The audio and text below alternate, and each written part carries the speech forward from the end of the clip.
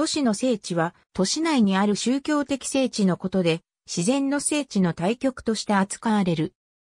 都市の聖地は例えば、東京や京都といった都市の中にある寺や神社、ニューヨークやパリの中にある教会などで、特にビルの谷間に埋没するような立地と景観が象徴的な存在となるが、開発の波が押し寄せる途上国の都市では、祠のような小さな聖地は失われがちで、それも都市環境破壊の一つとされる。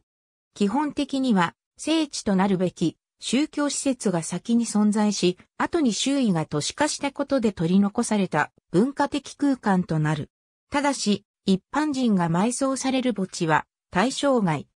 都市空間における集いの場としての役割を持つことから、アーバンデザインの一環で現代建築風に改築され、伝統的衣装や文化資材の神聖性が失われることも問題となっている。世界遺産の必須条件である神聖性を定めた神聖性の奈良文書を保管するアジア地域の文化遺産保存の代表的指針であるホイアンギ提書で示された都市住民の信仰など精神文化を維持するための場所としての位置づけで国際連合人間居住計画によるハビタット3で採択されたニューアーバンアジェンダでも都市での持続可能な生活に欠かせない要素とされ、人間居住科学にも都会における心の拠り所として反映される。ありがとうございます。